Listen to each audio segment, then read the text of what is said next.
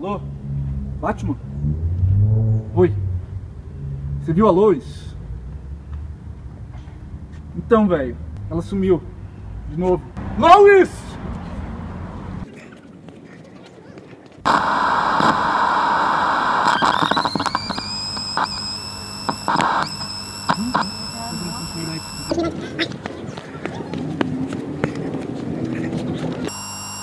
Oi, gente, tudo bem? Gostaram da crepioca? Giovanni comeu três.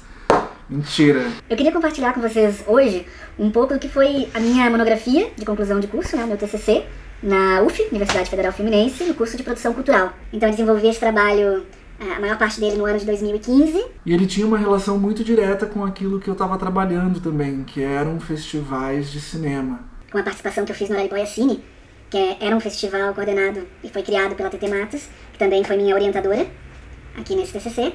Uh, nesse festival eu, eu, tive uma participação enquanto júri pro cult. Ai, tá dando um calor. Deixa eu tirar isso daqui. Não. Melhor não, melhor não. Volta. Ai, travou aqui. Ah, voltei. Ah. Então, o nome do meu TCC foi Festivais de Cinema e Valor Simbólico, um estudo do circuito de exibição do filme Sudoeste. Esse trabalho é bastante focado no filme Sudoeste e na trajetória desse filme, desde a sua realização até a sua distribuição e exibição. E conta uma história muito particular sobre essa menina que a vida inteira dela, infância, juventude, vida adulta, velhice e morte, acontece em 24 horas. É um filme, sem dúvida, que provoca esse impacto visual. É um filme para tu sentir através da imagem. E também ele tem uma relação muito interessante com o tempo dos acontecimentos. Aí tanto na narrativa, como eu citei, né, uma vida inteira, uma existência em 24 horas, enquanto todo o restante do mundo, para todas as outras pessoas, os outros personagens, é apenas um, mais um dia na vida. Mas também a forma como essa história vai ser contada, a transição da imagem, os tempos de cada cena, de cada ação, também te, te provocam refletir de uma forma muito diferente que o cinema clássico narrativo eh, te proporciona, né?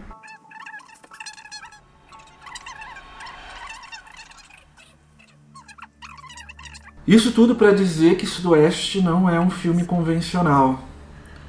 Ou seja, não é um filme vai ter uma, uma grande repercussão dentro das salas de cinema comercial, né? Isso por si só já é uma grande questão que obviamente eu não tenho a pretensão de, de desenvolver aqui nesse trabalho, mas que a Radija Chalup, que também é professora lá da UF, Universidade Federal Fluminense, ela desenvolveu nesse livro, Filme nas Telas, a distribuição do cinema nacional. Quatro diferentes métodos de meios de distribuição do filme. A começar pelo filme de grande escala, que de fato é esse filme que a gente entende como um cinema mais comercial, um cinema onde a narrativa e a linguagem dele está ah, mais assertiva, vai mais na direção daquilo que as pessoas estão acostumadas a ver. Então ele vai ser lançado em 300, 400, 900 cinemas, salas de cinema, né, ao mesmo tempo. Vai ter uma, um marketing massivo em cima dele e vai conseguir um, um resultado rápido, né, frente ao público. E também ele vai dispor de outros mecanismos de, de valor, como por exemplo um elenco de estrelas. Uma história que é mais chamativa, né? A gente sabe que no, no cinema brasileiro é uma tradição por exemplo, o cinema de comédia, né, atrair mais o público ou receber mais essa visibilidade. Né? Depois ela trabalha com um filme de nicho, ele já tem um público mais direcionado dentro do, do setor exibidor, né, ou do setor distribuidor. Então ele vai trabalhar com o que dentro do cinema a gente chama de cauda longa, né? Então vão ser lançar, o filme vai ser lançado em menos salas, mas ele vai ficar mais tempo sendo exibido. Então, um filme de nicho, por exemplo, ele pode ficar um ano em exibição em diferentes cidades, né? Ele estreia em algumas capitais, depois vai para outras capitais, daí vai para umas cidades do interior do Nordeste, depois vem para o Sul, e assim o filme vai fazendo sua trajetória e sua carreira. Depois a gente tem o filme médio, compartilha de algumas características do filme de grande escala.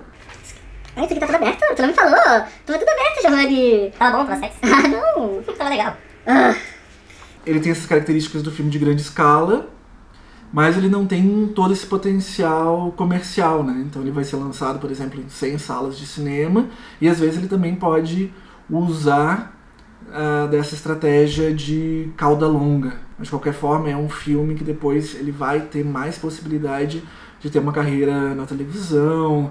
Hoje em dia também a questão do streaming é algo que não existia com tanta força seis anos atrás, quando eu estava pensando nesse trabalho, né? E por último a gente tem o filme de exportação, que é onde o Sudoeste se encaixa. Que é um, um cinema que não, não existe um mercado para ele dentro do circuito comercial.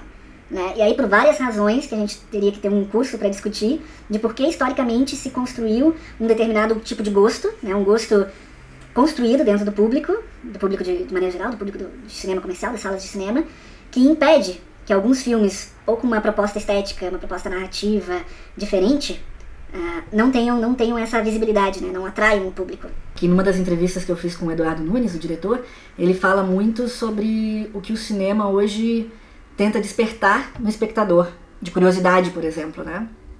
Então, que é justamente esse cinema comercial, que investe muito em propaganda, né?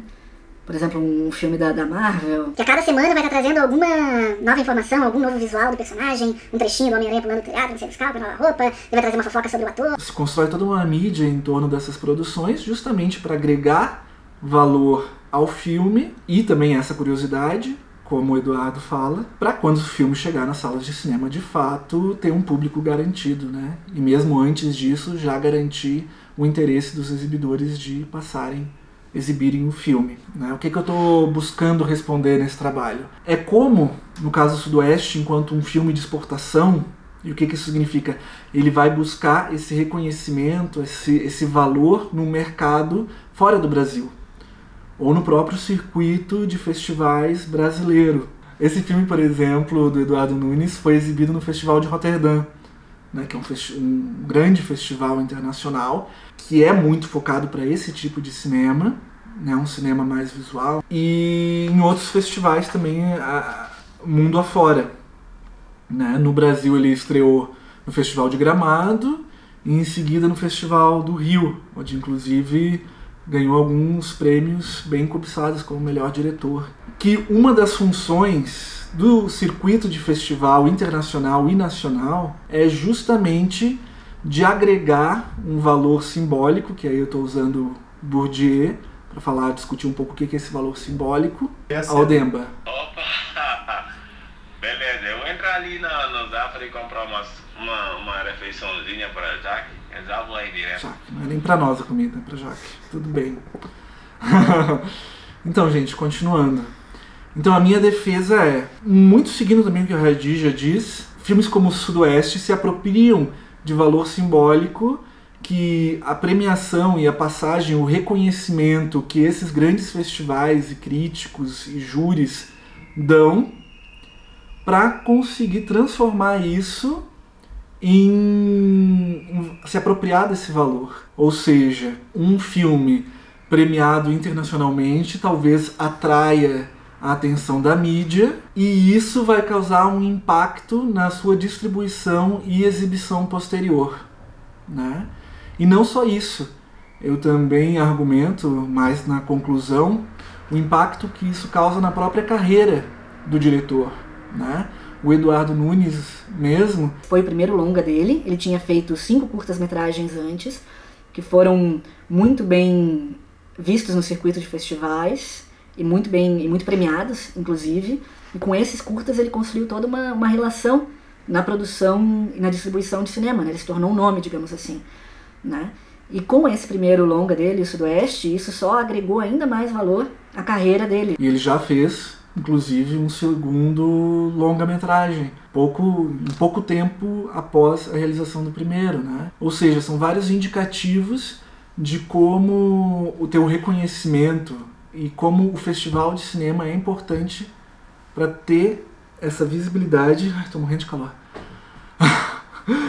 Ih, foi mal, hein, Brisado? Peraí. Aconteceu? Não sei.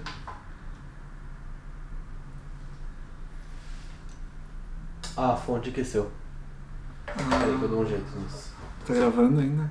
Tá. Então, gente, a gente tá tentando resolver o problema da luz, mas em breve eu finalizo o vídeo, tá? Acontece.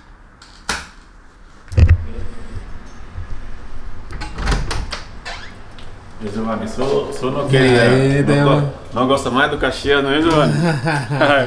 sou viajando é pelo assim. mundo, né, galera? Então tá certo. Dando uma viajada. É? É, isso aqui é um pouco que ser, fora. Tem que ser, tem que ser, né? E aí, como é que vai? Ah, sim. Ah.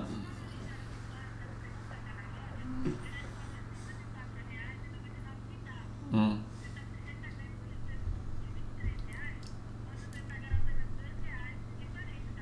Pá, Mas não é, não é problema não. Demba, bota meu nome Demba.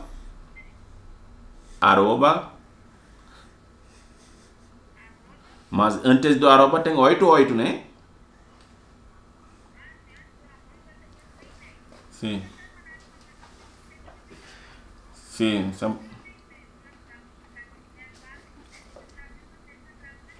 Tá bom.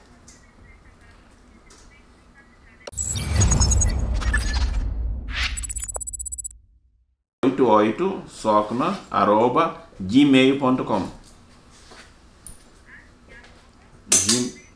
Sim, Gmail.